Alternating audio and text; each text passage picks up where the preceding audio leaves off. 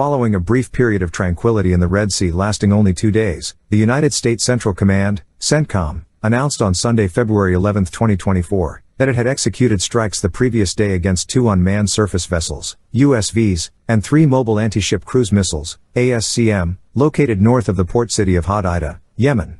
These strikes were conducted due to the perceived threat posed by these assets to ships navigating in the region. According to CENTCOM's statement, these USVs and missiles were identified within Houthi-controlled territories of Yemen, and their presence was deemed to constitute an imminent danger to both U.S. Navy vessels and merchant ships in the vicinity. The strikes took place on Saturday, between 4 and 5 p.m.